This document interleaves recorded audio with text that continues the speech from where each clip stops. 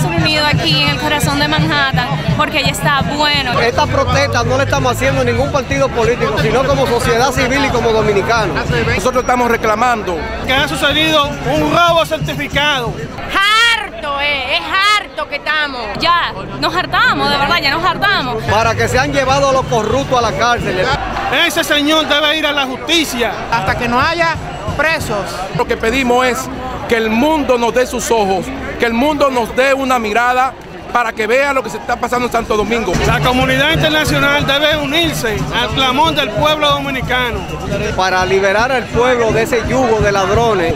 La corrupción es un proyecto peligroso, no solo para nosotros como país, es un proyecto peligroso para el mundo, porque la corrupción genera mucha miseria, genera muchos muertos, genera mucha falta de hospitales, la corrupción genera la falta de educación que no tenemos en la República Dominicana.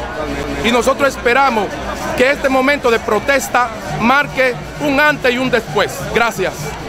Necesitamos de verdad un gobierno decente, nosotros merecemos muchísimo más.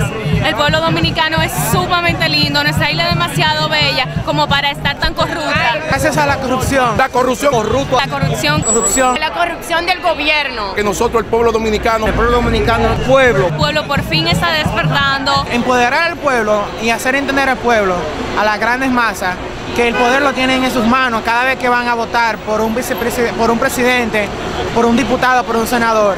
Y son ellos los que deciden y tienen el derecho de exigirle a sus representantes.